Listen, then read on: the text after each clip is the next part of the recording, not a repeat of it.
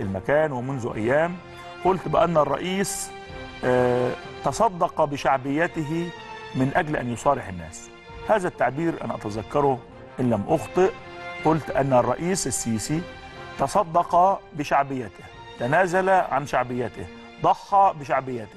حتى كثير من ال- المواطنين يعني آه، علقوا على هذا التصريح بأنه آه، إنه الرئيس لم يبرح إنه لم تتنا... لم تنزل لم تهبط لم ينخفض منسوب شعبيته يعني هذا كان بمثابة تأييد مطلق للرئيس من الكثيرين على صفحة البرنامج على الفيسبوك. لكن في كل الأحوال نحن نرصد بمصداقية إنه الرئيس ما كانش فارق معاه إنه الناس تسقف.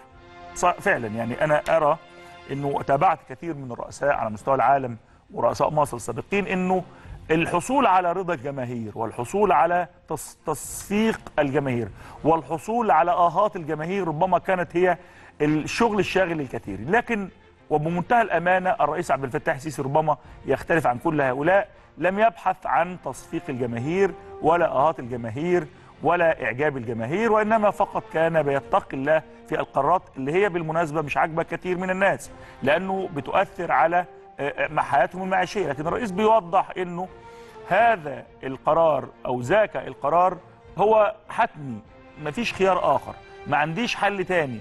علشان خاطر نقدر نتحرك بالبلد ونطلع بقى لقدام نصارح الناس. الرئيس بيقول اخطئ في حق بلدي إذا خشيت من الإصلاحات على شعبيتي.